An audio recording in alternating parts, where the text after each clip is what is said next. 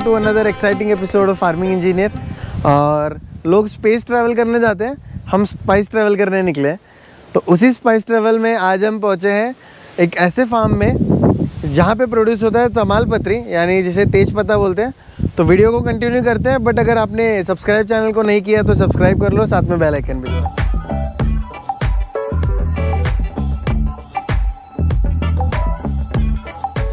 Indian cuisine में बिरयानी या पुलाव इसके अंदर अगर तमाल पत्री नहीं तमाल पत्री मतलब वो पत्ता जो होता है तो वो पत्ता ना हो तो उसके बिना वो बिरयानी अधूरी है वो पुलाव अधूरा है उसका टेस्ट नहीं आ पाएगा। तो वो कहाँ पे बनता है और वो कैसे प्रोड्यूस होता है तो उसके लिए हम आए हुए हैं उसके फार्म में। आ, हमने एक वीडियो किया था सिनेमन के ऊपर तो जिन्होंने नहीं देखा वो जाके देख सकता है। तो वही सिनेमन का जो प्लांट है वहीं से उसी से तैयार होता है तमाल पत्री। आ, उसका जो प्लांट है उस प्लांट का जो पत्ता है उसे हम तेज पत्ता बोलते हैं। जो उसकी बार्क होती है उसे हम सिनेमन बोलते हैं यानी कि दालचीनी। और उसके जो फ्रूट्स होते हैं जैसे आ, मैं आपको यहाँ पे दिखाता हूँ। तो उसके जो फ्रूट्स हैं उसे बोला जाता है नाकेश्वरी।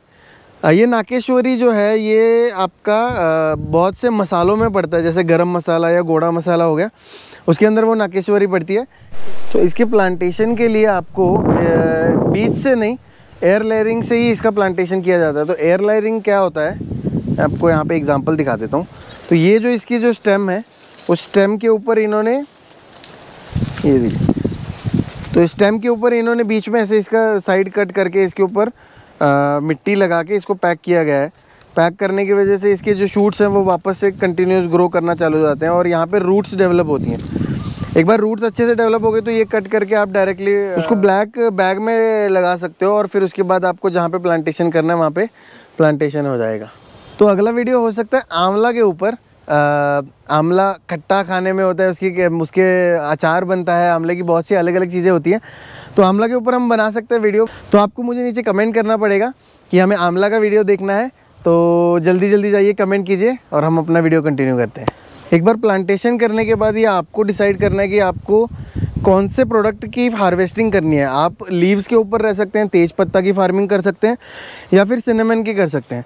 सिनेमन की करने के लिए आपको ज़्यादा टाइम तक वेट करना पड़ेगा और अगर आप तेज पत्ता के ऊपर काम करना चाहते हैं तो आपको तीन से चार साल में अच्छे खासे पत्ते आने चालू हो जाएगा। एक बार रूट्स अच्छे से डेवलप हो गई तो आप इसकी हार्वेस्टिंग कर सकते हैं। तो यहाँ पे जनवरी के मंथ में स्टार्टिंग में आप हार्वेस्टिंग के लिए स्टार्ट करते हैं। इसके अंदर आप लीव्स को कट करते हैं और फिर उसके बाद उसे सुखाते हैं। एक बार 10 से 15 दिन के टाइम लगता है उसे सूखने में। सूखने के बाद आप उसको सीधा मार्केट में ले जाके बेच सकते हैं। उसमें आपको एडिशनल कुछ करना नहीं पड़ता। सिनेमन के ट्री को आपको ज़्यादातर स्प्रे वगैरह नहीं करना पड़ता क्योंकि जो सिनेमन का फ्लेवर है, वो फ्लेवर ही ऐसा जनरेट किया प्लांट ने कि उसको जो कीड़े मकोड़े हैं, वो उसको ना खा पाएँ, उसके अंदर का जो स्पाइसी फ्लेवर है, वो फ्लेवर ही उसको प्रोटेक्ट करता है। और उसी फ्लेवर के लिए हम इसे यूज़ भी करते हैं। तो अगर आप इसे बिज़नेस के रूप में देखना चाहते हैं तो ये बहुत ही बढ़िया प्रॉफिट देने वाला क्रॉप है। आपको बस लैंड चाहिए और मोस्टली इसके लिए जो प्लांटेशन है, वो हिली एरियाज़ में होता है और थोड़ा सा मॉइस्चर आपको ज़्यादा चाहिए। इसीलिए इसका जो ज़्यादातर जो फ़ार्मिंग है, वो किया जाता है केरल और कर्नाटक के बाउंड्रीज़ के पास। वहाँ पे आपको इसकी ज़्यादातर फ़ार्मिंग मिलेंगी और इंडिया, अगर महाराष्ट्र में आप बात करते हैं तो कोकन का जो एरिया है, वहाँ पे इसकी अच्छी खासी फ़ार्मिंग होती है।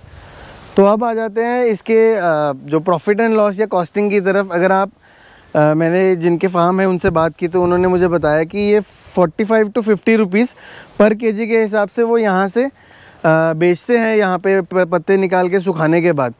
और फिर बाहर मार्केट में अगर जाता है वो ट्रांसपोर्टेशन और फिर मिडल मैन इन सब का निकाल के मार्केट में अस्सी से नब्बे रुपये या सौ रुपये किलो तक बिक जाता है।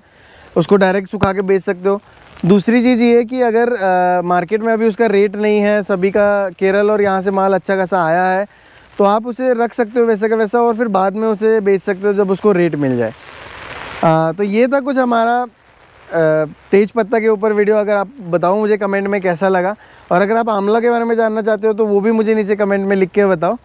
तो इस तरह के छोटे मोटे वीडियोस हम करते रहेंगे जैसे जैसे स्पाइसेस आते रहेंगे, जैसे हमारी स्पाइस ट्रैवल बढ़ती रहेगी, हम इन छोटे छोटे पॉइंट्स और छोटे छोटे मसालों के ऊपर बात करते रहेंगे।